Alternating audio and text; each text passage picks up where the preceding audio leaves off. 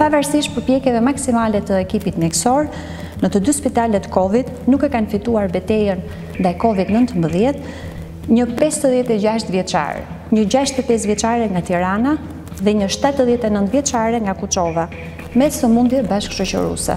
I shprehim ngushëllime familjeve të tyre.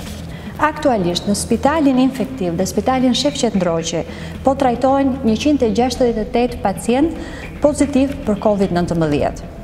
Katërmbëdhjetë prej tyre janë në terapi intensive dhe vetëm shtatë pacientë janë të intubuar.